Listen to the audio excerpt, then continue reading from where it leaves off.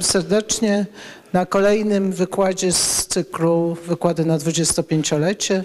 Zorganizowaliśmy te wykłady, bo to nasz srebrny jubileusz Festiwalu Nauki.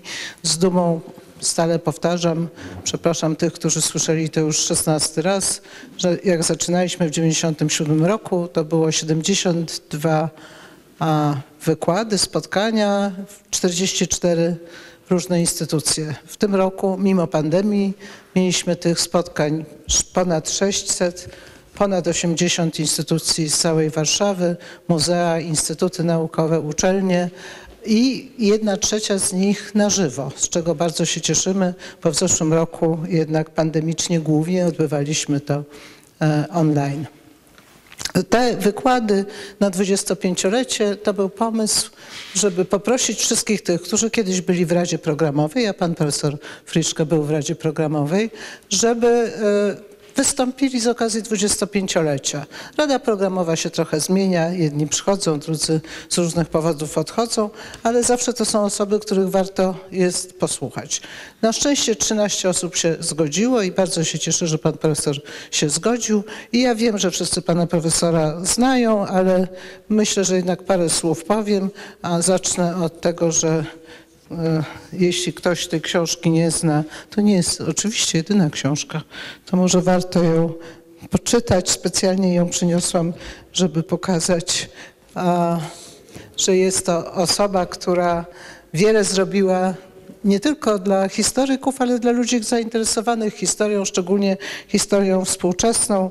E, I warto powiedzieć właśnie parę słów. Jest pracownikiem Instytutu Studiów Politycznych PAN, e, jest autorem wielu publikacji naukowych, nie będę nawet mówić ile, chociaż gdzieś tą informację mam. Jest członkiem, korespondentem Polskiej Akademii Nauk, ale także Polskiej Akademii Umiejętności. E, w 2000 roku został przewodniczącym zarządu Stowarzyszenia Archiwum Solidarności. Jest w składzie Kolegium Europejskiego Centrum Solidarności oraz Muzeum Historii Polski. To już nie, rozumiem. Tam, tam, przepraszam bardzo.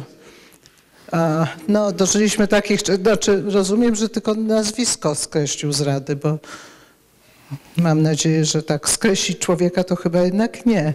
Członek Stowarzyszenia Pracowników, Współpracowników i Przyjaciół Rozgłośni Polskiej Radia Wolna Europa imienia Jana Nowaka-Jeziorańskiego, członek jury Nagrody Historycznej imienia Kazimierza Moczarskiego, wiele różnych nagród, między innymi za książkę Anatomia buntu, którą tutaj przyniosłam.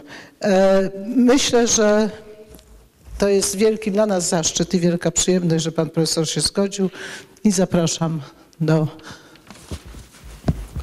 Bardzo dziękuję. Dla mnie to też zaszczyt. E, e, proszę Państwa, podziały polityczne Polaków w XX wieku. Taki temat wybrałem no, świadomie w gruncie rzeczy myśląc o tym, co dzisiaj się w Polsce dzieje, jak te podziały wyglądają, jak są głębokie. Właściwie to chcę po powiedzieć w tym dalszym moim wykładzie, jak one są głębokie, z czego one wynikają, jaką mają tradycję, no i jak się zaostrzyły oczywiście z różnych przyczyn. E, to jest w zasadzie wykład, który można powiedzieć, że będzie kontynuacją rozważań, które podjąłem w roku 18 w rocznicę stuletnią niepodległości, zaproszony przez świętej pamięci Pawła Adamowicza do takich debat na stulecie, które się odbywały w Gdańsku. E, z tych debat wyszła taka książka. E, najpierw one były opublikowane w przeglądzie politycznym, a potem wyszła taka książka i to jest szereg różnych esejów, rozważań o różnych aspektach e, tych stulecia przez różnych autorów. No i tu jest też taki mój studium, chyba więcej trochę niż szkic, będący próbą porównania II Rzeczpospolitej i III Rzeczpospolitej. E, e, no i oczywiście siłą rzeczy też y, mówię tam o tych podziałach, o tych konfliktach. E, no ale tutaj spróbuję to ująć inaczej, w zupełnie inny sposób, choć oczywiście mm, jest to jakoś komplementarne. Podziały polityczne Polaków. Pytanie właściwie, kiedy mówimy o ponad 100 latach, bo tak to by trzeba rozpocząć, spojrzeć na końcówkę XIX wieku, to właściwie mm, co rozumiemy przez pojęcie Polacy? E, profesor Łebkowski, który zajmował się wiekiem XIX i problemem kształtowania świadomości narodowej, obliczał, że około 1870 roku e, wśród mówiących po polsku jedynie 30-35% miało świadomość przynależności do narodu polskiego, by się określiło jako naród kategoriami regionalnymi, wyznaniowymi, bardzo różnie. Zależy między innymi od, jakie, od zaboru, od klasy społecznej. Wśród tych bowiem 30-35% no oczywiście będzie dominowała inteligencja, warstwa wykształcona, ziemiaństwo, czy może nie ziemiaństwo, ale ludzie z rodzin szlacheckich, którym, że tak powiem, ten depozyt polskości przekazano w tradycji rodzinnej ze świadomością, że było państwo, że nam to państwo rozebrali, że istnieje wspólnota nadal e, narodowa, e, to ale reszta te 60 parę procent, y, no jak mówię, miało świadomość lokalną, świadomość religijną, świadomość językową, ale nie miało świadomości ogólnonarodowej. A zatem proces, y, który będzie następował w następnych dziesięcioleciach, no będzie zbieżał do tego, żeby no, najogólniej aspiracja przynajmniej taka była, żeby 100% mówiących po polsku miało poczucie przynależności do narodu polskiego. No i oczywiście w tym momencie powstaje pytanie, jak zdefiniować naród polski. Czym ma być ten naród polski? To jest jeden z głównych y, elementów, y, no, gdzie następuje oczywiście podział. Podział polityczny, również wokół zdefiniowania, czym jest naród polski. W tradycji bowiem, w gruncie rzeczy dziedziczonej po I Rzeczpospolitej, to jest pojęcie no, możliwie przylegające, że tak powiem, do tego zachodnioeuropejskiego rozumienia narodu, czyli naród e, równa się obywatele państwa, no, czyli tak jak prawda, w XVIII wieku, w momencie rozbiorów, oczywiście szlachta, no, z takim mm, aspiracją, żeby tym narodem, pojęciem narodu objąć jak największe grupy. No ale to się nie daje e, w końcu wieku XIX i w pierwszych dziesięcioleciach XX, bo mamy pęknięcia narodowościowe. Jak wiemy, prawda, Litwini e, ogłaszają się jako naród osobny, wracają do języka litewskiego, jest silny ruch narodowy ukraiński, zwłaszcza w tamtym czasie w Galicji. No i nawet próby, bo były takowe, prawda, powiedzenia, no jak to, no wy jesteście przecież Polacy, tylko mówicie po litewsku albo po rusku. No, napotykają na stanowczy opór. Ten stanowczy opór oczywiście się będzie przeradzał w bardzo poważne napięcia o których szczegółowo to nie będę mówił, ale Państwo wiecie, prawda, i wojna 18 roku i potem liczne konflikty z Ukraińcami, no a z Litwinami spór o Wilno i tak dalej. E, a zatem jak zdefiniować naród inaczej? I mamy, że tak powiem, dwie szkoły, tak bym powiedział, tego definiowania. Jedna to jest jednak wychodząca od tych tradycji radykalnych wieku XIX, radykalnego nurtu niepodległościowego, jakoś mocno zakorzeniona, na ile to jest możliwe w tradycjach e, właśnie pierwszej Rzeczpospolitej. Ją e, niosą różni demokraci, e, również radykalni demokraci. Można tych nazwisk wiele wymieniać. Ja się zatrzymam mianowicie Bolesława Limanowskiego. On jest bardzo ważną postacią polityczną i też intelektualną, mającą takie ambicje socjologa, autorem książki właśnie o narodzie. E, Naród i Państwo to się nazywało, wyszło w 1906 roku. E, więc Limanowski definiuje naród przez kulturę. To znaczy ci, którzy mówią po polsku i mają poczucie przynależności do polskiej kultury, są narodem. Proste, bardzo proste. Są narodem. Mają poczucie wspólnoty, mają e, język, mają kulturę i chcą być podmiotem politycznym. E, e, są narodem. I ten naród będzie się dalej rozwijał przez przyłączanie właśnie tych warstw, które mm, przez oświatę, aktywność społeczną, przez zmiany polityczne, ekonomiczne, no, awansują do bycia obywatelami. Chodzi oczywiście o klasę robotniczą, ale także o chłopów i powstaje, powstaje cały czas i będzie powstawał, budował się naród. Ten naród oczywiście ma naturalną aspirację do bycia państwem, odrębnym państwem, bo tylko państwo zapewnia pełną możliwość rozwoju kulturalnego, społecznego, e, no, klasowego temu, to przecież socjalista, we wszelkich, że tak powiem, odsłonach. E, to rozumienie narodu jest wspólne dla całej lewicy właściwie. Można tutaj jeszcze przywołać Leona Wasilewskiego, wybitną postać z, tamtego, z tamtej epoki, też działacza PPS, który zajmował się e, kształtowaniem się narodu w naszej strefie Europy, jest autorem ważnych książek, moim zdaniem do tej pory ważnych, o kształtowaniu się narodu litewskiego, białoruskiego, ukraińskiego. To wszystko wyszło przed pierwszą wojną światową, kiedy to jeszcze niektórzy mówili, że to są książki o niczym, bo nie ma czegoś takiego. No, okazało się, że on umiał zauważyć te tendencje rozwojowe, ale on też pokazywał różne problemy z kształtowaniem się narodu. No właśnie, czy zawsze język musi być podstawą, a Szwajcarzy czy zawsze, e, czy w drugą stronę można powiedzieć, mówiący po niemiecku Prusacy, Austriacy, czy to jest ten sam naród? No, no nie. W związku z tym on też potrafił pokazać tę złożoność zjawisk, zastanawiać się nad tymi zjawiskami.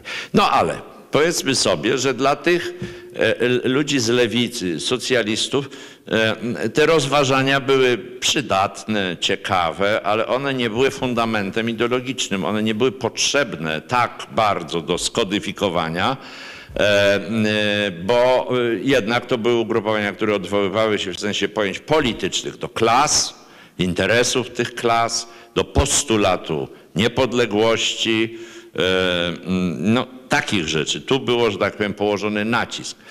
E, a zatem to pojęcie, że tak powiem, narodu polskiego bywało takie trochę płynne, prawda? Znaczy po prostu określenie e, przez daną osobę, że ma poczucie przynależności polskiej wystarczało.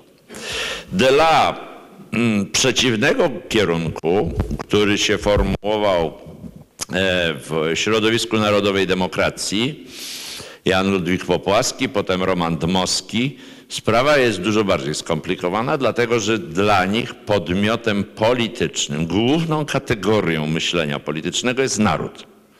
W związku z tym próba zdefiniowania narodu no, w nowoczesnym tego słowa znaczeniu jest zupełnie zasadnicza e, no i ma swoje bardzo konkretne konsekwencje e, w różnych dalszych rozważaniach politycznych. E, oni, a zwłaszcza Popłaski początkowo, zdefiniowali naród przede wszystkim poprzez lud e, i jako główną w związku z tym siłę e, czy część tego narodu zdefiniowali chłopów. Chłopi. Podstawą narodu są chłopi, mówiący po polsku. Nawet jeżeli, że tak powiem, nie mają poczucia wspólnego, wspólnej narodowości, bo Wiadomo, że nie mają, znaczy tutaj jest to jasne, że, ale mają ten, e, ten, no, no tą istotę, to jądro, że tak powiem, polskości. Język, kultura i na nich należy budować, oświecać, wciągać, tworzyć naród. No, e, ten naród powinien być jednocześnie wyraźnie oddzielony od innych narodów. To jest bardzo istotne w E, I to różni od socjalistów, dla których właśnie te granice są płynne. Prawda? Żydzi, Ukraińcy, Rusini. Nie wiem, oni są otwarci na różne obszary y, y, ewolucji, asymilacji, kolejnych jej kroków. Narodowcy nie.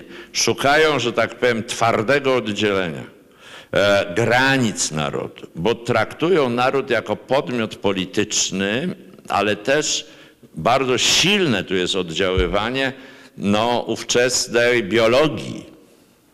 Dmowski był biologiem z wykształcenia i ta biologia darwinowska wpływała bardzo mocno.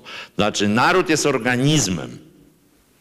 I te po, porównania, prawda, nie ma podziałów klasowych, tak jak mówią socjaliści, bo i ręce, i nogi, i głowa, i wątroba, i nie wiem, prawda, płuca, wszystko jest potrzebne, żeby ten organizm funkcjonował, także różne klasy są, ale to nie są istotne podziały, ważna jest jedność narodu. No ale za to, zatem e, jak są dalszy ciąg, że tak powiem, tego rozumowania biologicznego. E, narody tak jak, że tak powiem, e, organizmy biologiczne, jak zwierzęta, no mają swój teren, mają, swoją, mają swoich wrogów i muszą z nimi walczyć o przetrwanie.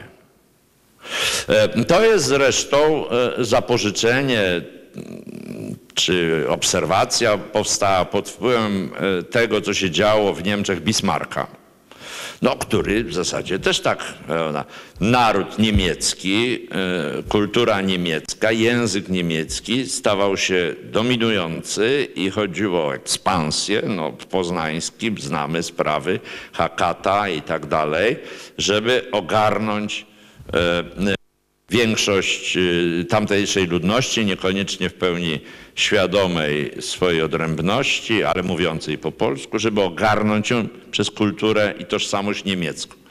Dmowski uważał, że to jest uniwersalne, że tak będzie wyglądała w zasadzie norma między narodami. A zatem nie istnieje coś takiego jak e, możliwość e, porozumienia się, E, możliwość kompromisu, zbudowania jakichś stref wielokulturowych, byśmy dzisiaj powiedzieli. Nie. To jest wszystko przedmiot walki. Ta walka toczyła się zwłaszcza, chyba najważniejszy obszar tej walki, to jest właśnie Galicja i z Ukraińcami. Kto, że tak powiem, z tych Rusinów wyrośnie? Polacy czy Ukraińcy? I jeżeli mamy narzędzia, na przykład system oświatowy, e, to trzeba je wykorzystywać i zmuszać, e, nawet brutalnie, do przyjęcia polskiej kultury. E, I tym samym poszerzać obszar polskiego języka, polskiego działania, polskiej kultury. Jest w tym rozumowaniu, naród jest trochę jak państwo w tej wizji. Właściwie on, naród ma wytworzyć politykę narodową, działania narodowe w zakresie kultury, ale i w zakresie polityki, w zakresie budowania zasięgu terytorialnego.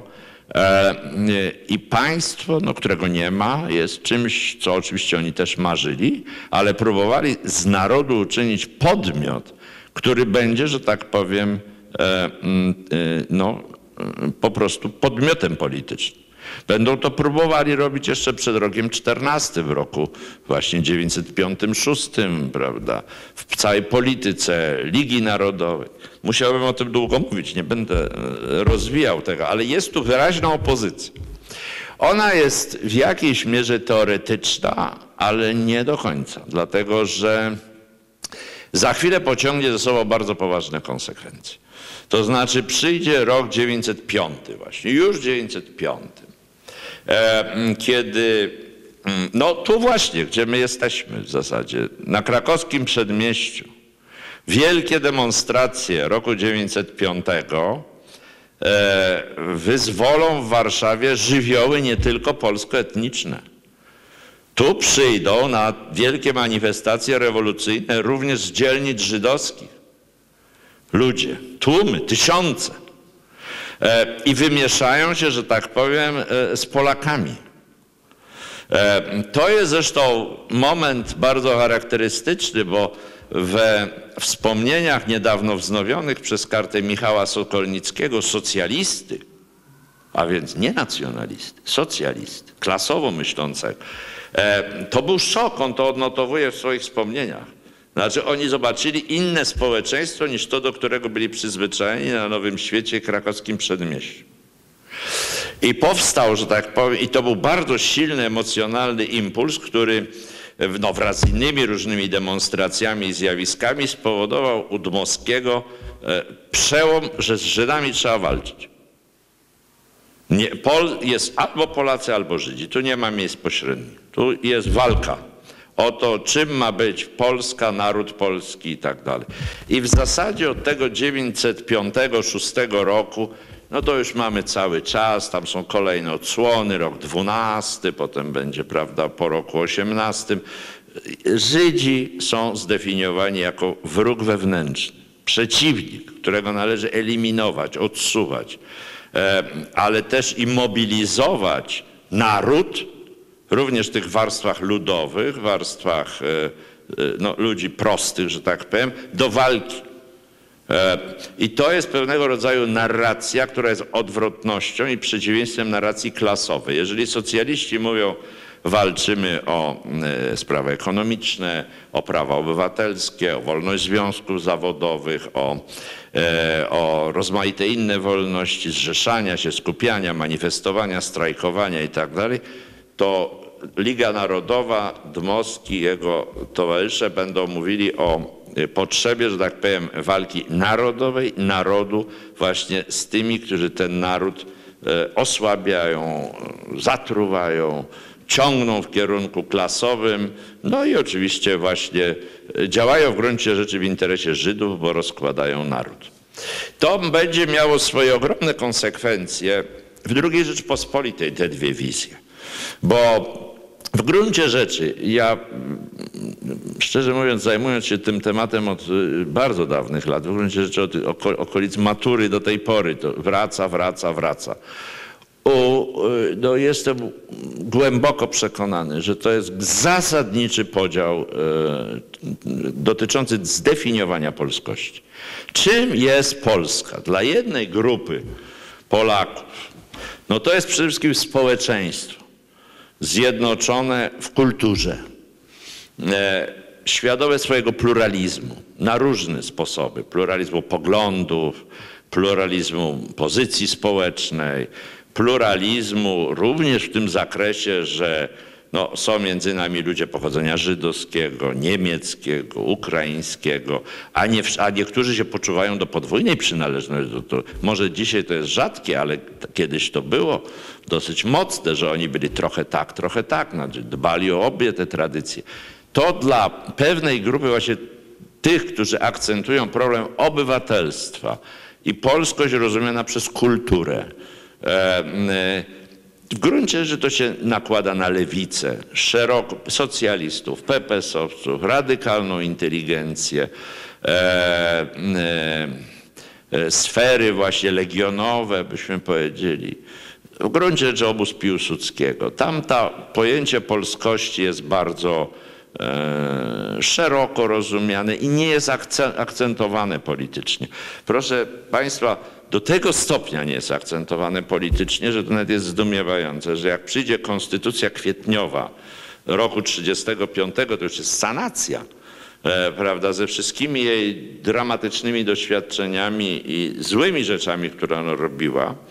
Ale jak przyjdzie ta konstytucja kwietniowa, tam w preambule nie pada słowo naród. W ogóle.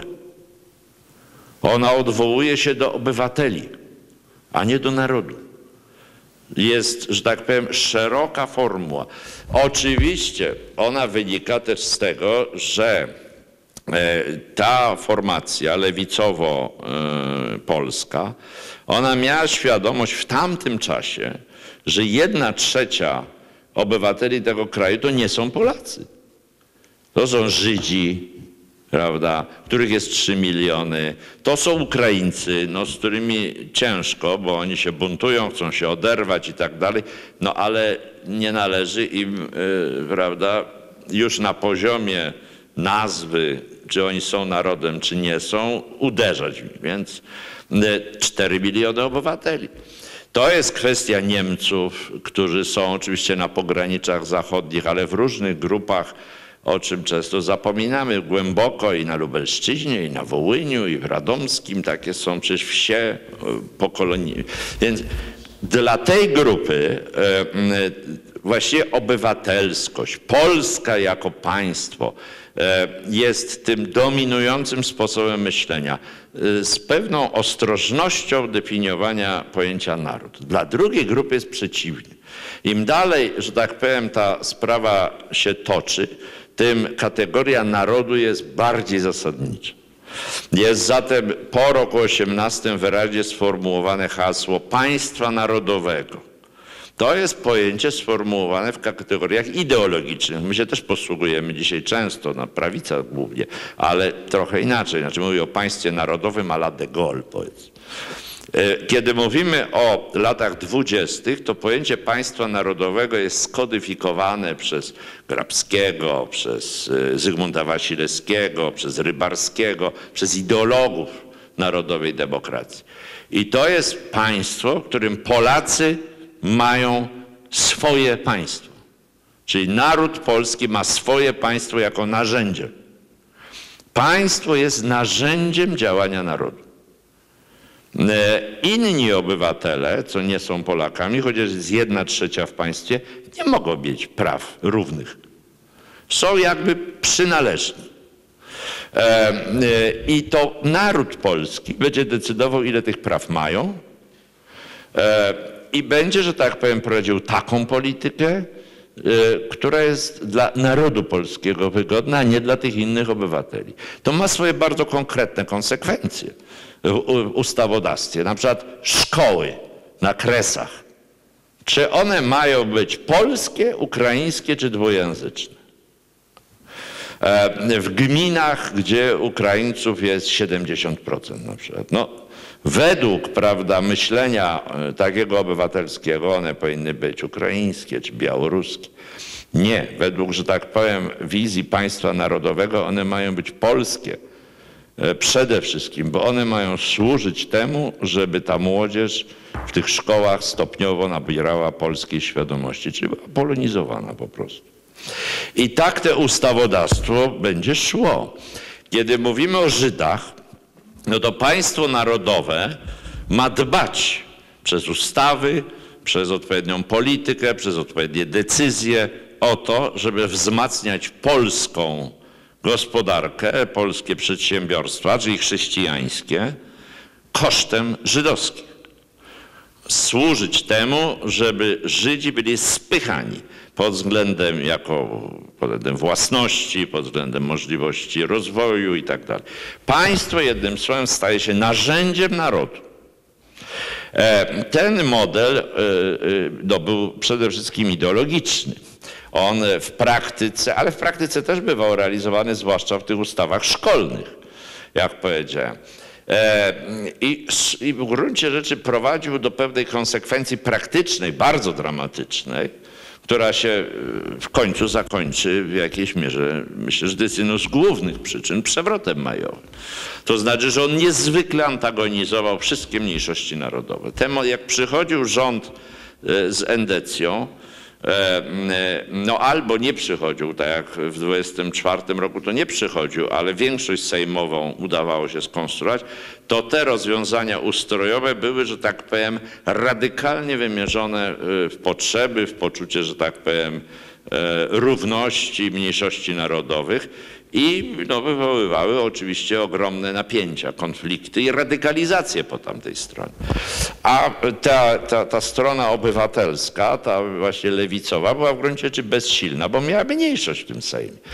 E, jeżeli do tego dołożymy inny wątek, o którym ja za chwilę będę mówił w innym, że tak powiem, porządku rzeczy, no e, to, to, to w sumie tworzyło, że tak powiem, taką mieszankę, że w gruncie rzeczy stabilizacja kraju nie była możliwa. Ja, ja uważam i to mam przemyślane, przebad... nie było możliwe, że tak powiem, stworzenie państwa, w którym by nie trwał cały czas konflikt na tej linii. E, a zatem to jest jedna z przyczyn przewrotu majowego. Proszę Państwa, no a potem było ten, dalej idzie ta, ta, ta kodyfikacja, ona właściwie już wcześniej była, że naród ma jedną religię. Znaczy nie ma mm, prawda, Polako, pra- znaczy to jest ostatecznie przez Dmowskiego skodyfikowane w 27 roku naród, kościół, państwo, y, że katolicyzm nie jest dodatkiem do polskości, jest istotą polskości istotą polskości. E, e, I w gruncie rzeczy zlanie ideologii narodowej i religii katolickiej jest nieodzowne. Nieodzowne. Z tego wypłynie, że tak powiem, mnóstwo rzeczy potem, no, łącznie z hasłem w latach 30. katolickiego państwa narodu polskiego. Po- Formuła państwa narodowego zostanie rozszerzona o katolickie państwo narodowe. E, e, Z religią katolicką jako panującą. E, No i z takim jasnym sformułowaniem, że jeżeli ktoś nie jest katolikiem, nie jest pełnym Polakiem.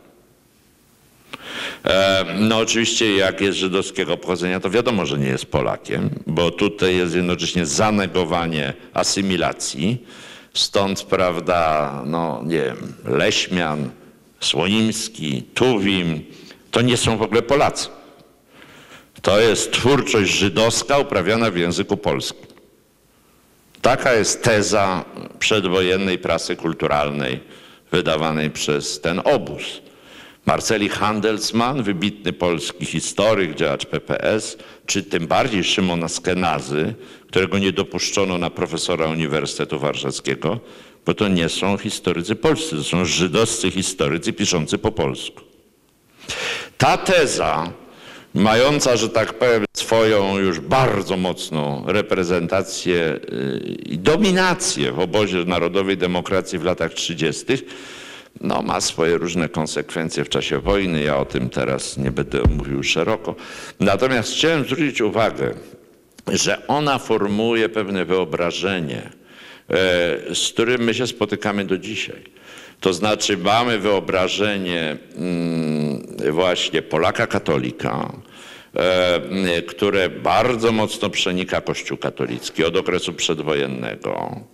Wraca wielokrotnie e, w różnych wyobrażeniach, mm, no również takich, co jest może anegdotyczne, ale ale, e, ale ja tymczasem tą anegdotę przypominam, że jak w 1989 roku odbyły się wybory czerwcowe e, i miejscowy proboszcz, z którym miałem dobre stosunki, przyszedł do nas do domu, powiedział, no nareszcie katolicy wzięli władzę w Polsce. I to wyobrażenie, e, ono gdzieś cały czas tliło. Ono cały czas jest. I mamy je, i jeżeli mówimy o tym, co nas dzieli dzisiaj, jak słucham nie tylko pana Bąkiewicza, ale i Jarosława Kaczyńskiego i wielu innych ideologów e, tak zwanej dobrej zmiany, to przecież oni, oni mają to jasno ułożone w głowie. Polak, katolik, tylko my, Polacy katolicy, mamy prawo do państwa. Tylko my jesteśmy naprawdę narodem polskim. E, A oni wszyscy, ci my znaczy, bo ja oczywiście nie będę udawał, że jestem neutralny, e, my wszyscy jesteśmy nie wiadomo co. Jacy, jakieś takie niedorobione, e, właśnie agenci niemieccy, albo jacyś, prawda, nie do końca spolonizowani, albo wynaturzeni, albo skosmopolityzowani, jacyś Europejczycy. Bo w tym projekcie też, mm, no niestety jest tak, mm, że takie konstrukcje, jaką jest Unia Europejska, są w ogóle traktowane jako anachroniczne. Zawsze były traktowane jako anachroniczne. One wynikają z samego fundamentu e, no, tego, co jest egoizmem narodowym Zygmunta Balickiego i już jest też w myślach nowoczesnego Polaka Romana Dmowskiego. Jeżeli narody, wszystkie, zdefiniujemy na wzór biologiczny, że one walczą o sobą, z sobą, o terytorium, o pozycję, o zdominowanie kulturowe, o zdominowanie gospodarcze, każdy z każdym, no to w ogóle mówienie o jakichś federacjach, konfederacjach jest zawracaniem głowy, to jest nienaturalne w ogóle. I w gruncie rzeczy i przed wojną e, stosunek do takich pomysłów jak Liga Narodów był bardzo sceptyczny ze strony e, właśnie tego obozu. W czasie wojny, kiedy były rozważane e, kwestie federacji, Federacji Polsko-Czechosłowackiej, kiedy mówiono, to są pierwsze pomysły o zjednoczonej Europie, o zbudowanie Federacji Europejskiej, Anglicy to animowali właściwie tych grupach e, antyfaszystowskich, które znajdowały się wtedy e, w Anglii, prawda, uchodząc z okupowanych krajów. To narodowcy do tego podchodzili bardzo e, dwuznacznie, dziwnie, względnie proponowali replikę. Tą repliką w podziemnej prasie konspiracyjnej była, było wyobrażenie, które najbardziej konsekwentnie sformułował Bolesław Piasecki, Konfederacja Narodu, czyli Imperium Polskiego. E, to jest jakby odpowiedź na konfederacyjne pomysły socjalistów, bo oni też tutaj głosili takie potrzeby, że oto Polacy narzucą swoje panowanie narodom obok, Czechom, Słowakom, Litwinom, Ukraińcom i my mamy rządzić tymi narodami. No oczywiście to można powiedzieć, była zupełna fantazja, ale to są artykuły poważnych ludzi, duże artykuły, które to projektują. E, tak samo krąg Narodowych Sił Zbrojnych formułuje taką wizję właśnie. E, bo oni, ale za chwilę, bo ja czytałem kiedyś te artykuły, za chwilę wchodzą na problemy. No, jak zrobić e, z Czechami takie jedno państwo, jak oni nie są katolicy właściwie. Czyli tego fundamentalnego elementu, że to formacja narodowo-katolicka ma rządzić kulturą tych, no nagle jest bariera. E, Ukraińcy są prawosławni albo grekokatolicy. Węgrzy, z którymi chcieliby pójść, też nie są katolicy, bo tam są kalwini silni. Czesi e, są mało religijni. I tu jest bariera, bo w tym wszystkim jest pewien zamysł, taki bardzo głęboko ideologiczny, że to jest cywilizacja narodowo-katolicka. Narodowo-katolicka. Przy czym w tej cywilizacji narodowo-katolickiej te wątki, które nas tak e, no, uczyniły, że tak powiem, w tych latach, dziesięcioleciach poprzednich ten katolicyzm również ważnym dla środowisk niekoniecznie konfesyjnych, czyli ten, ten humanizm, to pochylenie się, miłosierdzie, pochylenie się nad ludźmi e, z natury rzeczy, to oni traktowali dosyć zimno, jako, że tak powiem, elementy zbędne, niepotrzebne, które w gruncie rzeczy utrudniają i osłabiają to, o co chodzi, czyli budowanie spójności narodowo-religijnej jako fundamentu tożsamości. No i to jest oczywiście projekt, z którym kompromis był cholernie trudny, przepraszam za słowo choler.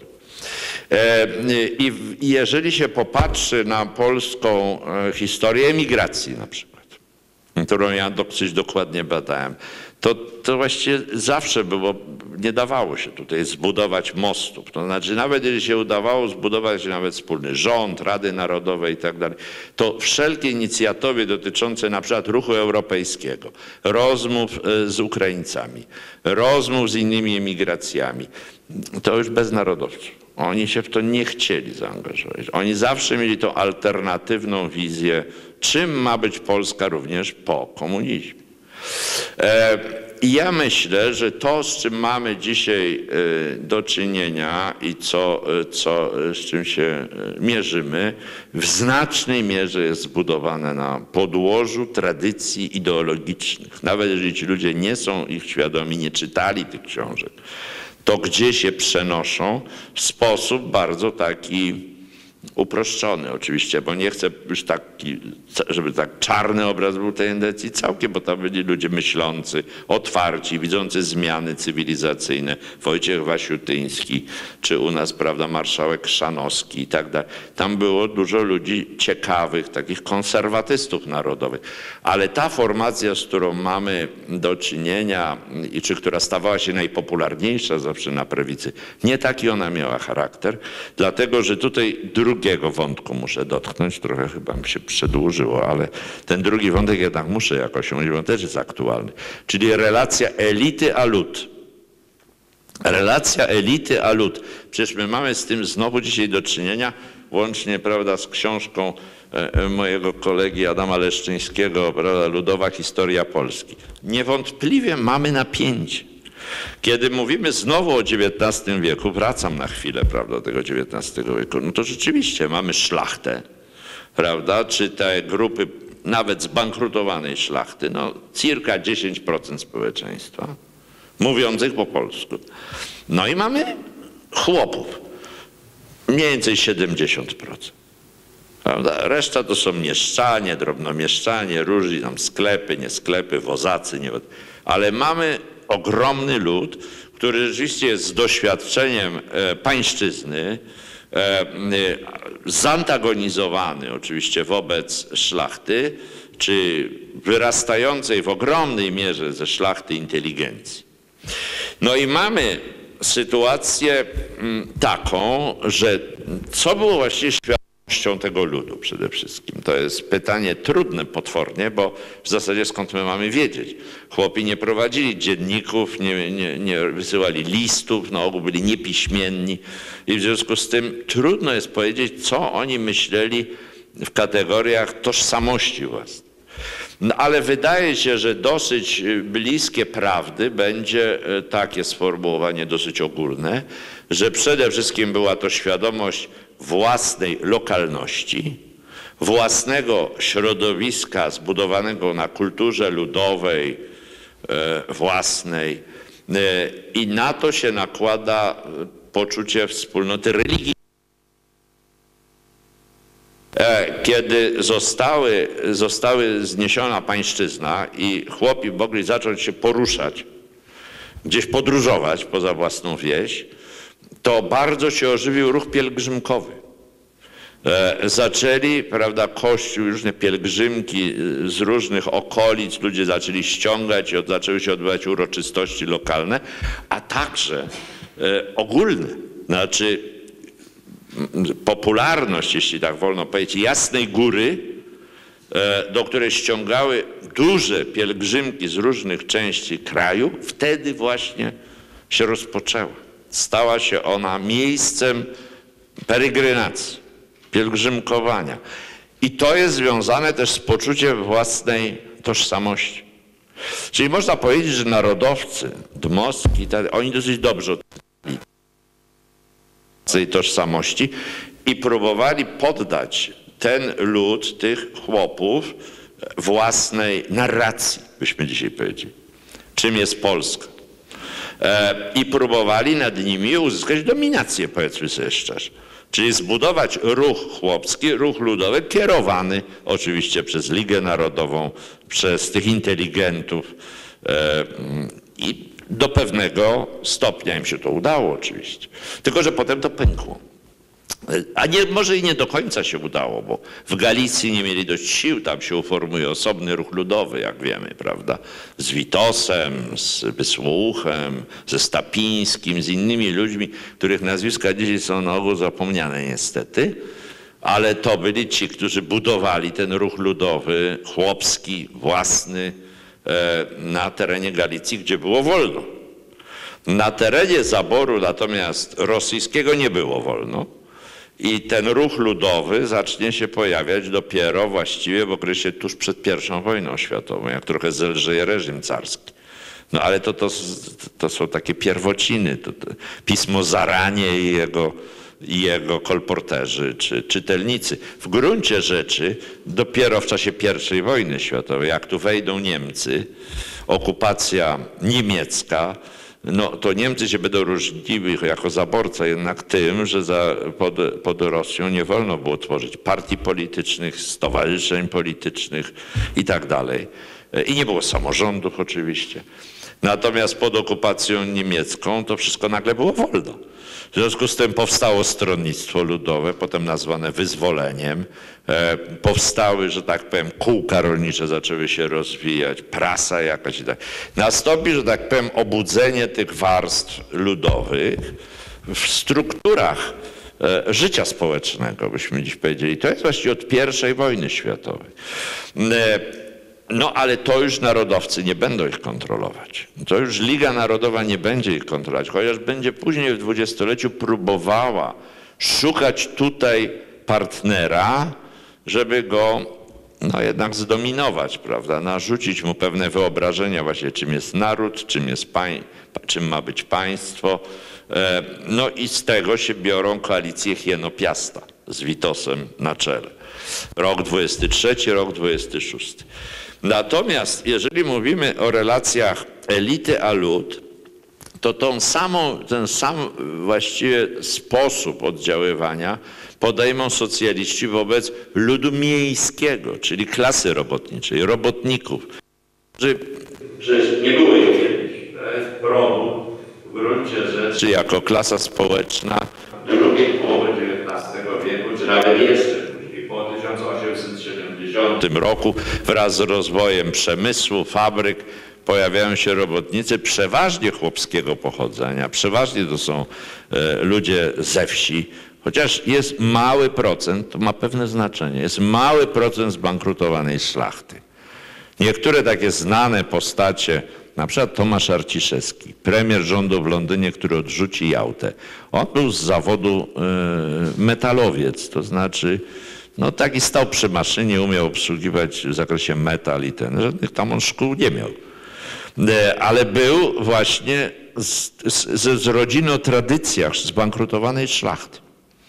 Tego typu ludzie, których było sporo w ruchu socjalistycznym, e, oni jakby wnosili też ten ideał, że tak powiem, polskiej pamięci narodowej, powstań i tak dalej i formowali, że tak powiem, właśnie tą patriotyczną, myślącą o odrodzeniu państwa E, ruch robotniczy, gdzie się wątki klasowe będą mieszały, łączyły z narodowymi. E, no i jednocześnie, że tak powiem, e, społecznymi, czyli walka o to, żeby robotnicy mieli swoje organizacje społeczne, przede wszystkim związki zawodowe.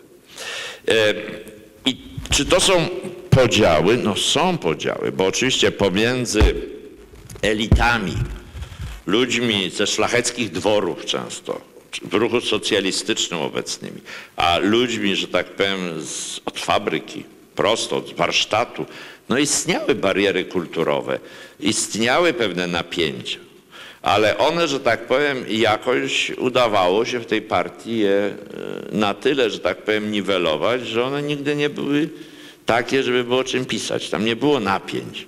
To jest pewien fenomen rzeczywiście, że się udawało zbudować pewną jedność.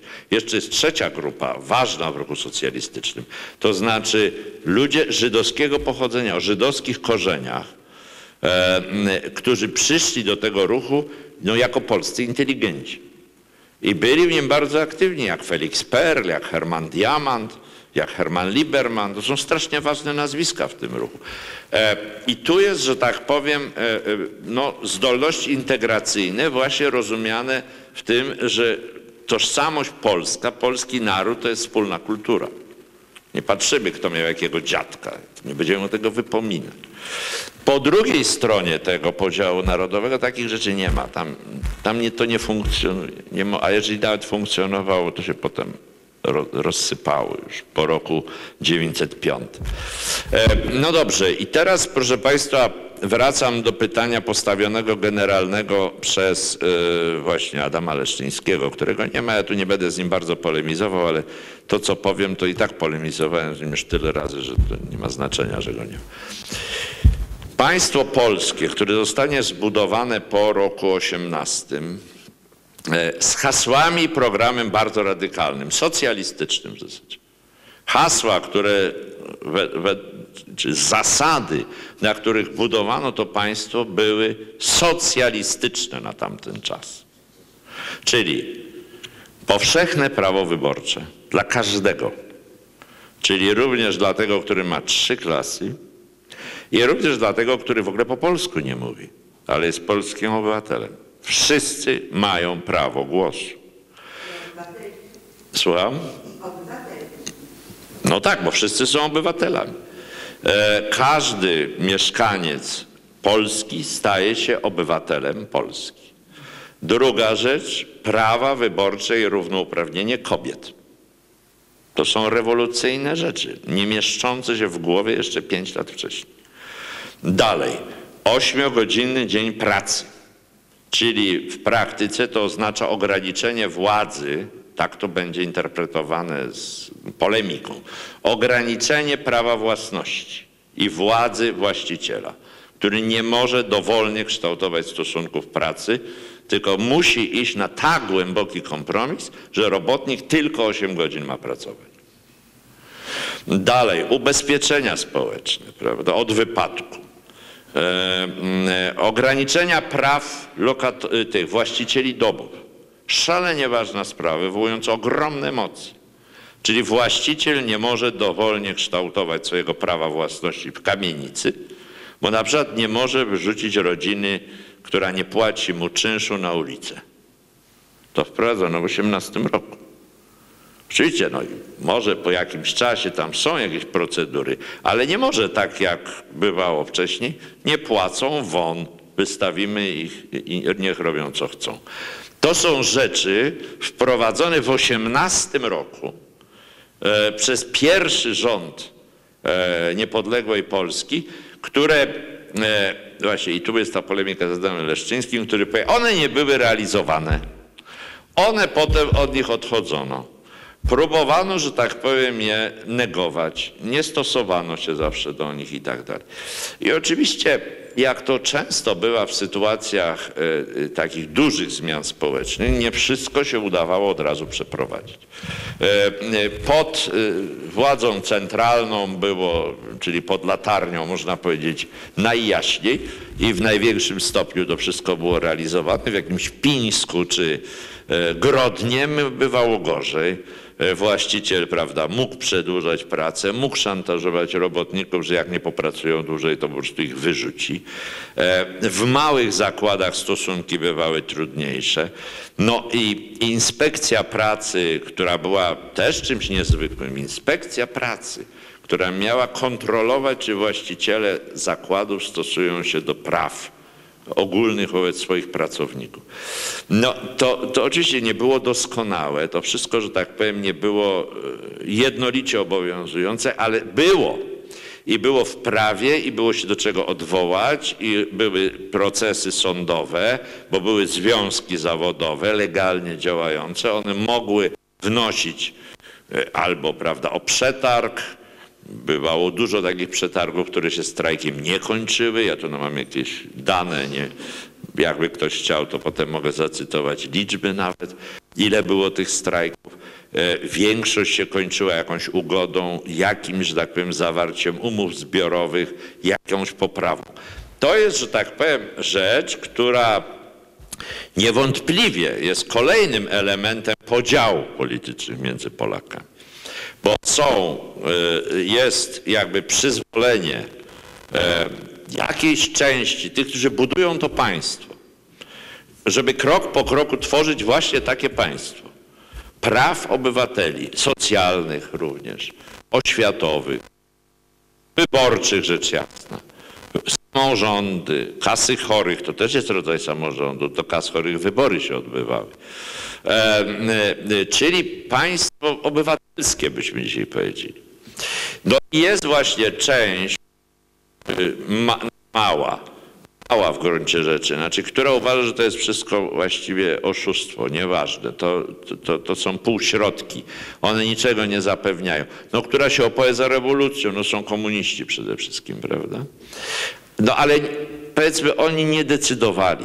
Byli za słabi, żeby mogli, że tak powiem, narzucać podział polityczny w dużym, znaczącym stopniu.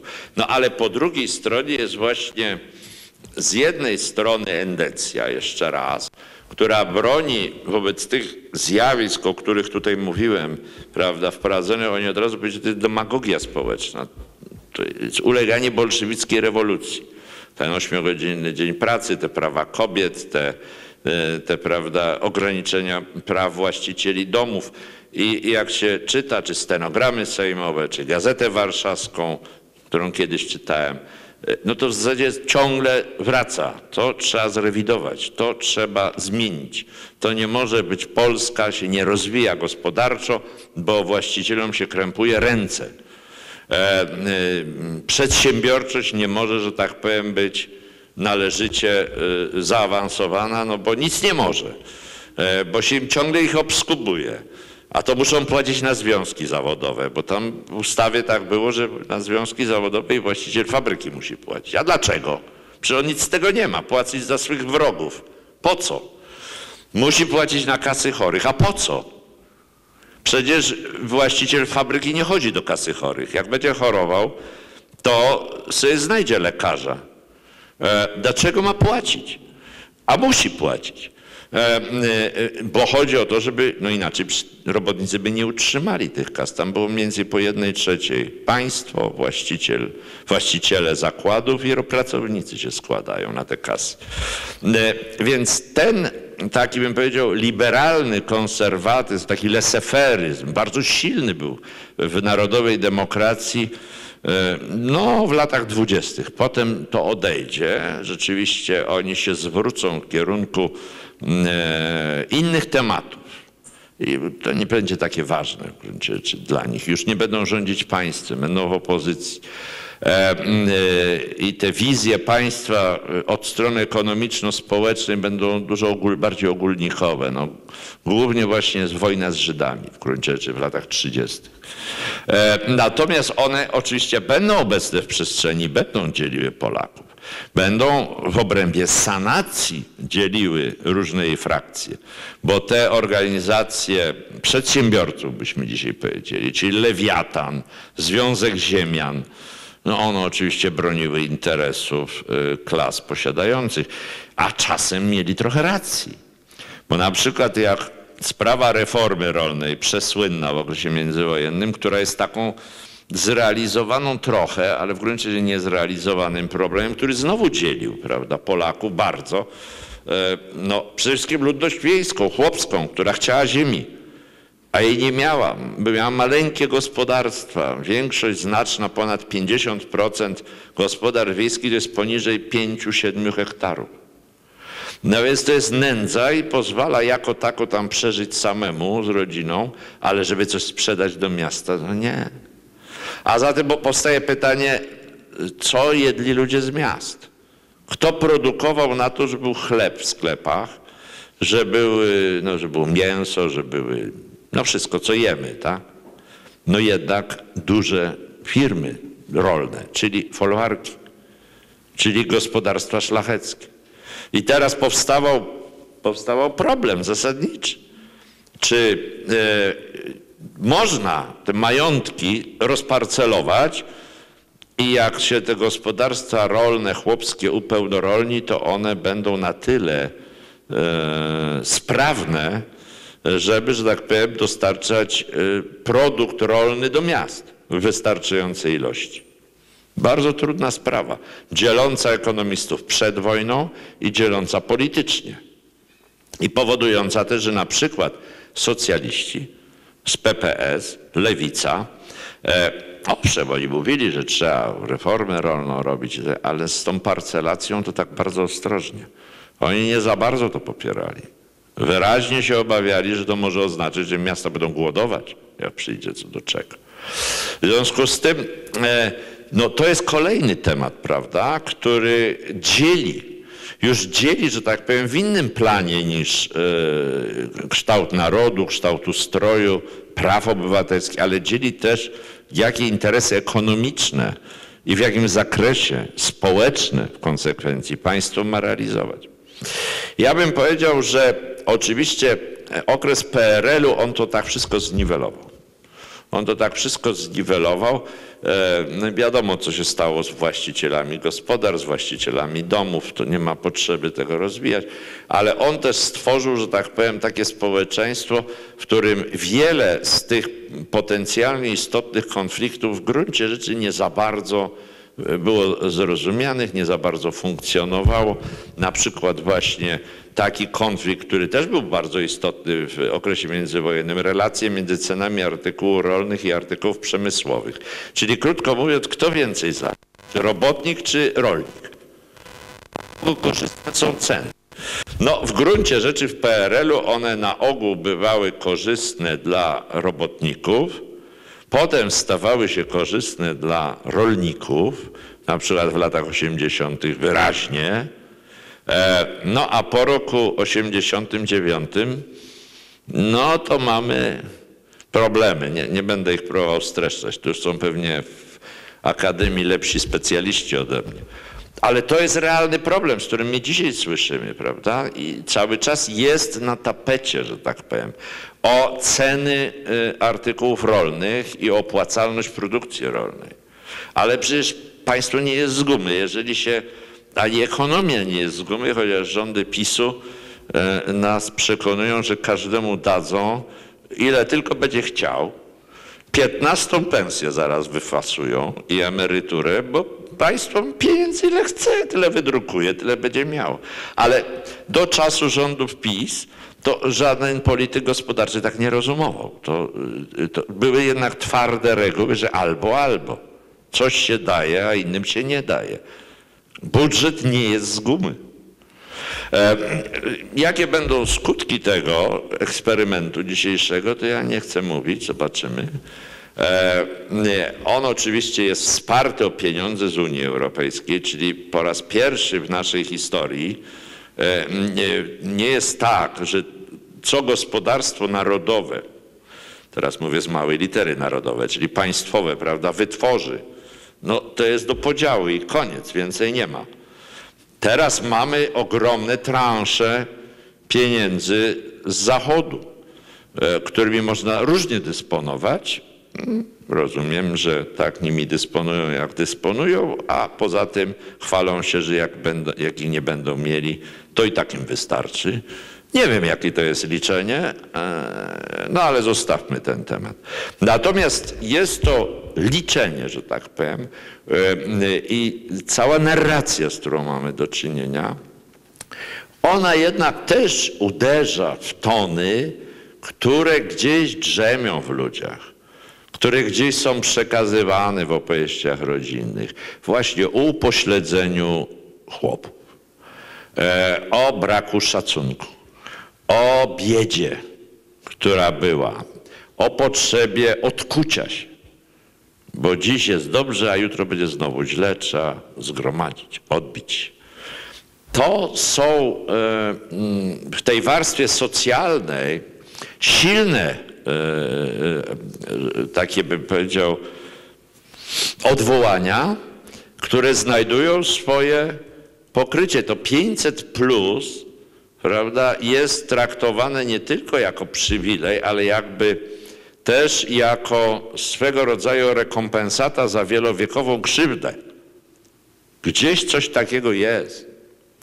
E, wyrównanie szans, można na to patrzeć od tej strony. No tak, ale wyrównanie szans w języku, że tak powiem, lewicy, czy socjalistycznej, czy ludowej, zawsze było inaczej rozumiane. To było rozumiane jako wyrównanie szans, że tym ludziom trzeba dać narzędzia poprawy własnego losu. Czyli ich zaktywizować ekonomicznie, kulturowo, e, zawodowo, no, żeby oni sobie mogli dawać radę. A nie tak, że tylko po prostu im dajemy, żywimy, jesteś fajny i koniec. I nic od ciebie nie wymagamy. Tu mamy rewizję tego spojrzenia lewicowego. E, no i mamy oczywiście, i mamy oczywiście też, już kończąc właśnie tak aktualnie, mamy też odbicie, jak powiedziałem, w wyobrażeniu państwa, czym ono jest. Czy ono jest państwem obywateli, czy ono jest państwem zdefiniowanego narodu, narodowo-katolickiego. E, I mamy oczywiście jak najbardziej aktualny dzisiaj spór e, o to, czy istnieją organizacje międzynarodowe.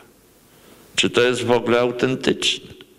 No ciągle słyszymy i to już się trochę powtarzam, ale to jest specjalnie, bo to w gruncie rzeczy jest szalenie mocne. Oni nie wierzą w takie coś.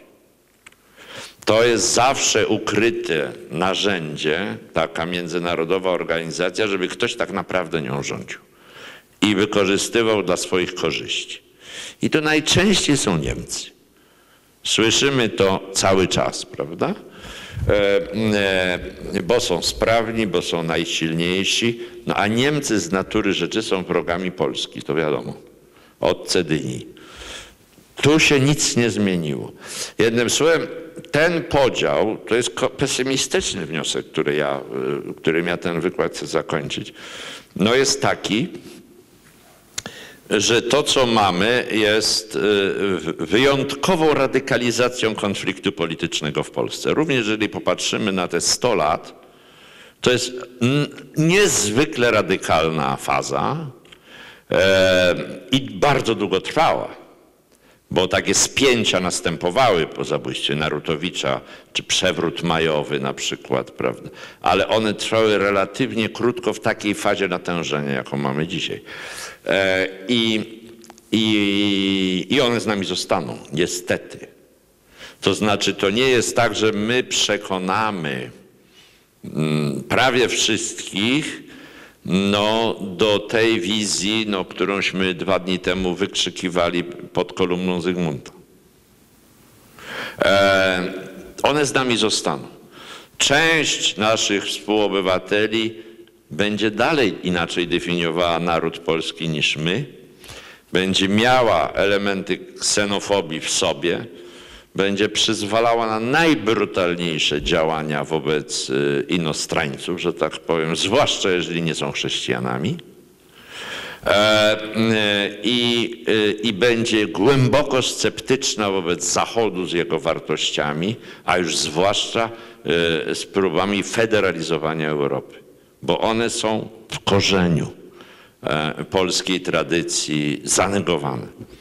Dziękuję.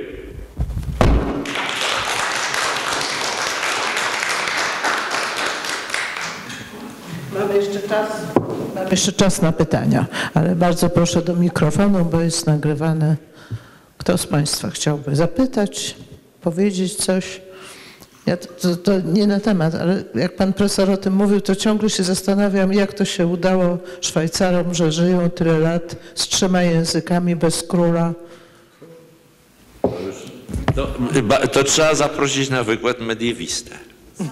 Bo to wszystko, no tak, ale w średniowieczu. W średniowieczu też. Kto z Państwa? Zachęcam. To znaczy, e, pan profesor jak tu mówił o e, Dmowskim, że dzisiaj Jasi Kaczyński jest e, spadkobiercą w jakiś, można powiedzieć, Dmowskiego, tak jak rozumiem, bo ja e, właśnie tak e, dyskutowałem w mediach społecznościowych z kolegą, który mówił, że Kaczyński jest raczej spadkobiercą sanacji, jakby tłumaczyłem, że jest jednak Dmowskiego, czyli widzę, że ja miałem rację chyba, tak? Z tego, pan profesor, e, z tego co wnioskowałem. E, a to rzeczywiście jest tak, że dzisiaj, e, jak patrzę, bo mam do czynienia ostatnio z robotnikami w zasadzie, to oni myślą właśnie no wbrew nie po temu, co powinni w zasadzie, no, socjalistycznemu, ale myślę w kategoriach niestety właśnie tej, tej, tej nacjonalistycznych dmowskim w zasadzie.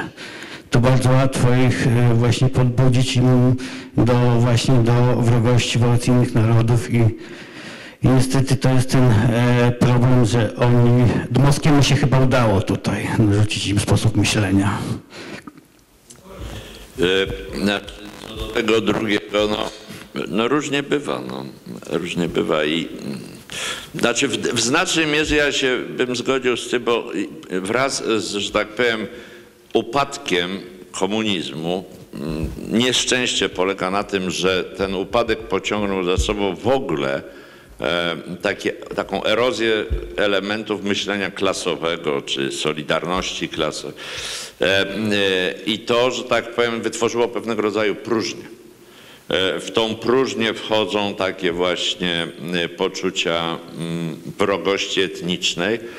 Mm, no ale nie zawsze tak być musi. Także ja bym powiedział, że jeżeli by się zastanowić, bo to jest dosyć ważny obszar, gdzie to się realizowało, relacje polsko-ukraińskie o bardzo silnej przecież antyukraińskiej retoryce endecji, bardzo silnej, e, jeszcze, że tak powiem, ożywionej bardzo dramatyczną historią rzezi wołyńskiej, która jak wiadomo żyje świadomości. No a jednak, że tak powiem, ta niechęć y, wobec Ukraińców nie, nie dominuje, prawda? Więc to, to, nie musi być tak źle, jakby to miało wynikać z tradycji. Jednak ludzie pod wieloma, z różnych powodów kształtują swój stosunek do, do innych. E, natomiast co do pierwszej części, czy to jest, czy Kaczyński naśladuje Piłsudskiego czy Dmowskiego, to jest oczywiście trudno powiedzieć, bo on naśladuje, znaczy nie wiem, czy on naśladuje, ale inspiruje się bardzo różnymi rzeczami. E, oczywiście, jeżeli chodzi o sposób funkcjonowania ośrodka władzy mm, i e, parlamentu i rządu, to można powiedzieć, że jest więcej podobieństw do sanacji, bo Dmowski w ogóle takiego doświadczenia nie miał. Przecież on nie rządził nigdy Polską i nie stworzył żadnego modelu praktycznego zarządzania. To jest sanacja. Ale ja bym się upierał, że to i tak nie jest sanacja, że to jest bardzo powierzchowne. E, no oczywiście on się tam ustawia jako naczelnik państwa, wódz, stoi ponad prezydentem, ponad premierem, ponad wszystkim. Tyle tylko, że jeżeli popatrzymy na strukturę sanacji prawdziwej, to ona była dużo bardziej pluralistyczna, czy bym powiedział niespójna. Piłsudski nie ingerował we wszystkie sprawy. On miał od tego premiera, była grupa pułkowników, oni, Bartel, to oni rządzili w takich sprawach bieżących. Piłsudski jakby był ostatnią instancją. Decydował, kto będzie premierem, pilnował spraw wojska, ale na przykład w sprawie gospodarki w ogóle się nie mieszał. W ogóle. E, e, i, e, I w związku z tym zakres władzy Kaczyńskiego, jak to widzimy, jest w ogóle nieporównywalnie większy niż Piłsudskiego wobec swoich ludzi. Poza tym struktura jest inna, bo tu nie ma ludzi o takim zakresie samodzielności, jak na przykład grupa pułkowników. Nie ma. To są ludzie, którzy dziś są, a jutro może ich nie być. Oni nie mają samodzielnej pozycji. E, e, no, a poza tym e, sanacja była też obozem szalenie spluralizowanym ideowo. Bo przecież tam byli i konserwatyści z księciem Radziwiłłem, a po drugiej stronie Moraczewski z socjalistami, a byli działacze społeczni tacy, w ogóle trudno ich określić barwą, bo oni byli skoncentrowani w sprawach społecznych, ekonomiczno-społecznych, czyli naprawa, prawda, samorządy miejskie, różne inicjatywy, Związek Młodzie Związki Młodzieży. Oni się tam realizowali w akcjach wychowawczych, ekonomicznych, społecznych. Związek Ziem Zachodnich, o, ta wzmacnianie polskości.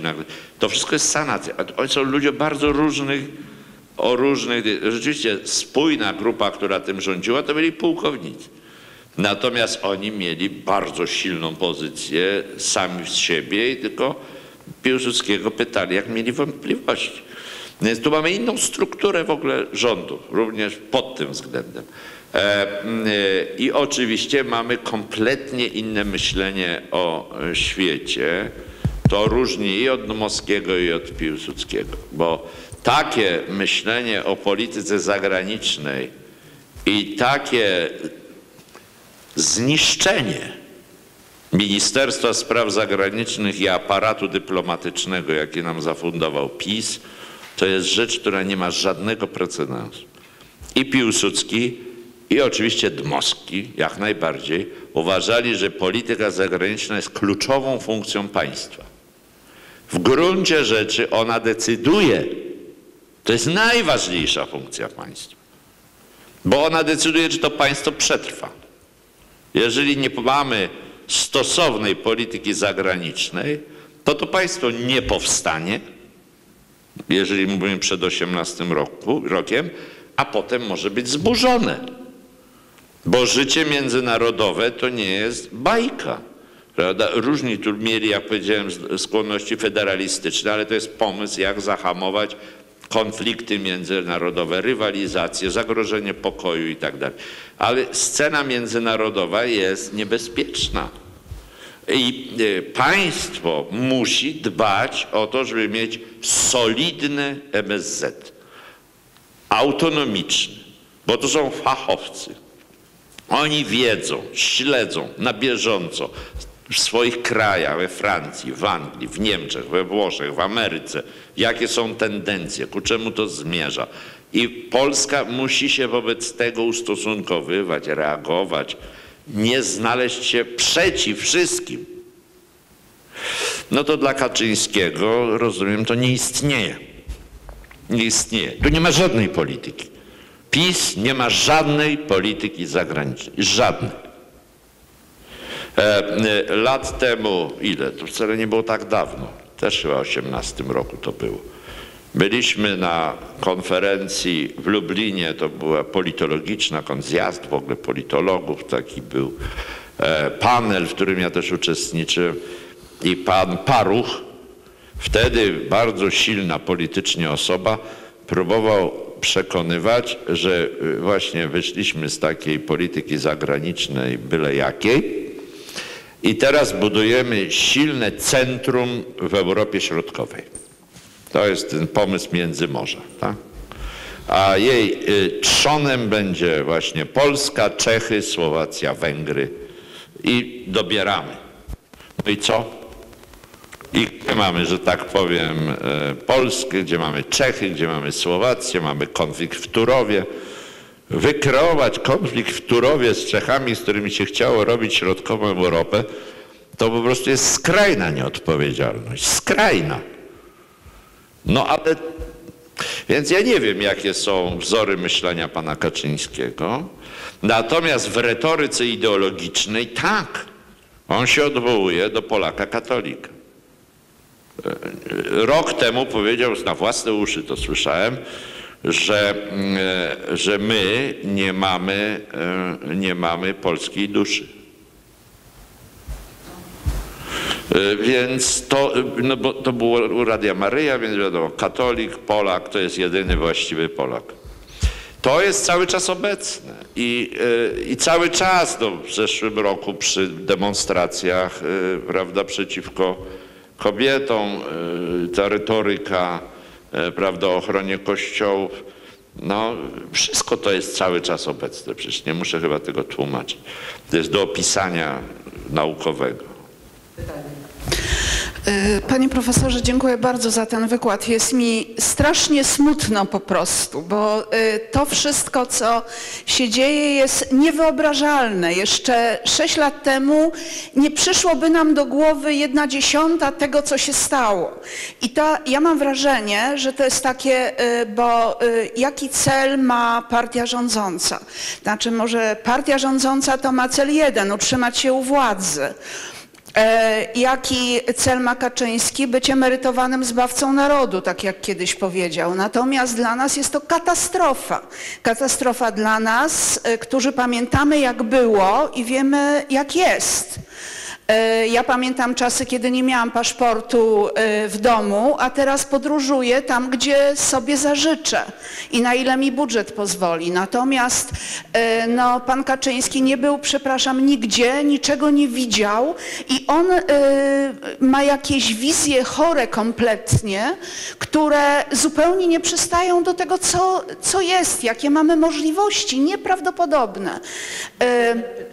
Tak, e, panie profesorze, no pytanie jest takie, e, jak pana zdaniem, no bo e, za chwilę, no, no czas jest taki, że no, mm,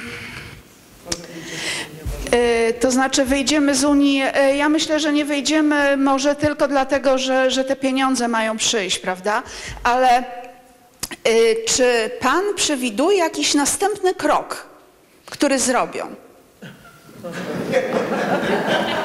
Bo ja się zastanawiam, co oni jeszcze w tych chorych głowach mogą wymyśleć. Pan ma pomysł jakiś na pewno może? Nie mam. Panie profesorze, niech pan nie podpowiada, błagam. Co? Słucham? Niech pan profesor nie podpowiada. Nie, no e, podpowiadać nie będę, ale... Ile mamy 11 listopada i mniej więcej... A, to, to można sobie... Chłopcy w tym czasie zrobią. To akurat co się zdarzy za 11 listopada sobie możemy spokojnie wyobrazić. No. To, cośmy mieli dwa dni temu, razy 100. E, Ja bardzo dziękuję za ten ostatni, ostatni głos o polityce zagranicznej, ponieważ ona jest absolutnie fundamentalna. Znaczy to nawet jeżeli, znaczy porównywanie Kaczyńskiego do Dmowskiego, on by nie, mógł, nie, nie był mu godzien zawiązać buta, no, sznurowadeł, no to w ogóle, to mówiłem nie o Mount Everest i, i Morzu Martwym, no. To, to w ogóle to ja absolutnie nie używał tego porównania nigdy, no to jest męż, mąż stanu wobec kogoś w ogóle, no dość przypadkowego powiedzmy, także to bym absolutnie bronił się i, i, i protestował przeciwko jakiemukolwiek porównywaniu Kaczyńskiego do Dmowskiego czy Piłsudskiego. Natomiast to, że te, te podziały są i one będą, one nie są tutaj za, za, zasypywane, one były właśnie przez lata PRL-u zasypane, to jednak polityka zagraniczna powinna od tego być absolutnie impregnowana na te podziały. I to jest największa katastrofa, jaką się dzieje, jaka się dzieje. Największą pretensję mam do tego, że zniszczono jakąkolwiek strategię, czy myśl o strategii w polityce zagranicznej ponad podziałami. I Podziały wewnętrzne będą, one się będą odbijać tak czy inaczej, ta partia, inna partia, walki wewnętrzne. To powinno być absolutnie poza jakimkolwiek zasięgiem podziałów czy myślenia, żeby rozgrywać polityką zagraniczną politykę wewnętrzną. I to dziękuję za ten głos, bo to jest dla mnie kluczowe. I to jest największy grzech, z którym będziemy najdłużej sobie radzili, jeżeli sobie poradzimy po zmianie władzy. Dziękuję. Całkowicie się z tym zgadzam. Jed- Jedno słowo widzę. Całkowicie się z tym zgadzam. Znaczy, e, i to wynika jakby logicznie z konstrukcji, którą ja zresztą przyjmuję. No, państwo jest podmiotem, prawda? Naród może być ważnym podmiotem, jak nie ma państwa, ale jak jest państwo, to państwo jest podmiotem jako e, część wspólnoty międzynarodowej i ono jest, e, jest powinnością dbanie o bezpieczeństwo i przetrwanie państwa. E, No ale jest też wiadome, to, że polityka zagraniczna każdego kraju w gruncie rzeczy wynika też z jego wewnętrznych stosunków. To znaczy, w zasadzie, no zawsze tak jest. To teoretycy od prawa międzynarodowego jakby to udowa- udowadniają. Państwo demokratyczne, zbudowane demokratycznie, też prowadzi określoną politykę zagraniczną. Państwo dyktatorskie, totalistyczne prowadzi inną politykę zagraniczną. E, e, I ja bym powiedział, że w Polsce po roku 89 przecież udało się zbudować bardzo porządną politykę zagraniczną. Osiągnęliśmy wielkie rzeczy, czyli wejście do Unii Europejskiej i NATO. Wcale nie, to mówię do pań młodych, prawda, w tamtych latach, jak e, pamiętamy, latach 90, to wszystko było bardzo trudne. To wcale nie wydawało się oczywiste, wymagało ogromnej pracy.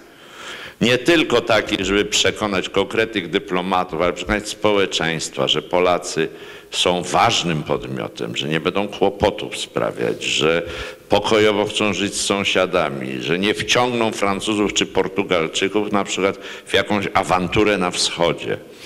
E, I tak dalej, i tak dalej. Wszystko PiS burzy każdego dnia. Każdego dnia burzy i e, ja jestem rzeczywiście pesymistą. E, Ja uważam, że odbudowywanie pozycji międzynarodowej będzie trwało pokolenie. Pokolenie, około 20 lat, żeby dojść do względnej równowagi. W gabinetach zachodnich, ale nie tylko w gabinetach, bo mam wielu znajomych dyplomatów, e, którzy byli na placówkach i tak dalej. No jest dramat absolutny. W ogóle jesteśmy pośmiewiskiem i, i kompletnie nieodpowiedzialni. Kompletnie. Nie warto w ogóle za się nami zadawać. Tak jesteśmy postrzegani. Proszę. E, Panie profesorze, wybiegliśmy e, daleko poza XX wiek, a ja chcę jeszcze bardziej do przodu. E, Jaki jest Pana stosunek do takiej idei pensji obywatelskiej? To jest moje pierwsze pytanie. Pensji obywatelskiej. Pensji obywatelskiej. Pensji obywatelskiej. Czy zna Pan takie pojęcie? Nie zna Pan. No, dochód gwarantowany. Aha. No ja nie jestem ekonomistą, to ja tak wie pan, jeszcze historia ekonomii, no to ja muszę, ale tak aktualne różne pomysły to niekoniecznie. E, No trudno. A drugie pytanie to mam takie, e, czy sądzi pan, że e, Szwajcarom się udało dzięki warunkom geograficznym? No, no oczywiście, o, oczywiście, że tak. To znaczy, ja oczywiście o Szwajcarii wiele nie powiem, bo, bo się na tym nie znam, ale tak jak tutaj wymieniliśmy uwagi, no po pierwsze trzeba by sięgnąć do średniowiecza, bo przecież to wtedy powstało. Wtedy powstały zasady e, tego, e, tego państwa. E, Należałoby zobaczyć jego strukturę społeczną. No, to jest też państwo, które y, właśnie ma niewielki dystans, chyba, tak mi się wydaje, między elitami a ludem. Prawda? Tam nie ma wielkich dystansów arystokracji, nie ma szwajcarskiej, wielkich latyfundiów szwajcarskich. Chłopi są wolni prawdopodobnie od zawsze. E, mm, to jest raz, ale oczywiście to by się nie utrzymało. Różne wojny, zawieruchy, tam wojna 30-letnia, prawda, religijne, gdyby oni nie byli tak położeni jak są, e, że tam trudno się do nich dobrać, to, to by pewnie nie przetrwało. No ale to była dla nich e, gwarancja, prawda? Znaczy te góry ich osłaniały przed możliwym. I pewnie różne inne elementy, które powodowały, że byli wygodnym miejscem do porozumiewania się e, różnych zwaśnionych stron. Tam można było się spotkać i negocjować w najbardziej niesprzyjających warunkach. No ale to już mówię powiedzmy na przykład o II wojnie światowej, prawda, gdzie, gdzie nawet y, odbywały się takie spotkania nieoficjalne. Słucham. Panie profesorze, ja również bardzo dziękuję za bardzo interesujący wykład, natomiast chciałem dopytać o jeden spór, podział polityczny z końca XX wieku, o którym pan profesor nie wspomniał, czyli nie tylko to, co zaczyna nam się w wieku XIX i tak naprawdę dziś odżywa, ale o ten krótki moment podziału na postsolidarność i postkomunę. Lata 90., y, referendum konstytucyjne, sprawa Olina, tego typu rzeczy, to przez chwilę była tak naprawdę osobna oś sporu, która gdzieś po Millerze się wywróciła i wróciła na stare tory. Więc jak pan profesor na tą kwestię i na tamten podział się zapatruje? Dziękuję bardzo. No mm, tak, znaczy to by trzeba, że tak powiem, powiedzieć więcej, zrobić jakby osobną część tego wykładu. Właśnie o PRL-u, skupioną na PRL-u, prawda, na formie dyktatury partii komunistycznej i tego, co ona e, robiła na różnych etapach i na oporze wobec tej formuły. E, No ja oczywiście to w różnych momentach robiłem, opisywałem i tak dalej, Nie, ale e, na początku powiedziałem, chciałbym popatrzeć na to wstecz z punktu widzenia, który my dzisiaj mamy. To znaczy, a ten podział, o którym Pan mówi, on się skończył. I teraz oczywiście można powiedzieć, dlaczego on się skończył, bo fakt, lata 90., już nie mówię lata 80., no podział na ludzi PZPR popierających władzę komunistów, jak się to mówiło, prawda, a opozycję y, był zasadniczy. Y, I, pos, I potem ten podział solid, postsolidarny był, był zasadniczy. Tylko on wynikał jakby z mm, konfliktu o to, co było bezpośrednio przed nami. To znaczy, no właśnie o PRL, o to, że oni byli po stronie monopolistycznej władzy, my byliśmy, że tak powiem, szykanowani, represjonowani. E, I, e, I w pewnym momencie się skończył. I właśnie dlaczego się skończył, by trzeba się zastanowić. Oczywiście, że wyrośliśmy z tego, że pojawiły się inne y, zasadnicze wyzwania. To wszystko prawda, ale on się mógł skończyć dlatego, że ci, którzy reprezentowali powiedzmy te postkomunistyczne ugrupowania, oni zaakceptowali demokratyczne państwo. To znaczy y, przestali być, że tak powiem, zagrożeniem. E, y, I znaleźli się w sytuacji konfliktu o demokrację, o przynależność do Europy, o zasady wolności słowa, o praworządność po tej samej stronie co my. To jest oczywiście e, sytuacja, bym powiedział, niesamowita. Jak prawda, w poniedziałek widziałem Leszka Millera obok Leszka Moczulskiego. No ogień i woda. Prawda? Pamiętamy, jak Moczulski mówił do, do tych, do, do, wy tam pachołki Rosji, ten krzyczał. Oni siedział w więzieniu 6-7 lat, już nie, nie pamiętam dokładnie. Był najbardziej antykomunistyczną partią w Polsce, retorycznie i tak dalej. No, no, ale, ale ostatecznie okazało się, że, że jesteśmy na tym samym miejscu, to znaczy razem, to znaczy w obronie demokracji, wolności słowa, przynależności do Europy i praworządności, czyli fundamentalnych rzeczy. Ostatnie pytanie. Kto chciałby zadać ostatnie pytanie? Jeśli nie, to bardzo, bardzo dziękujemy.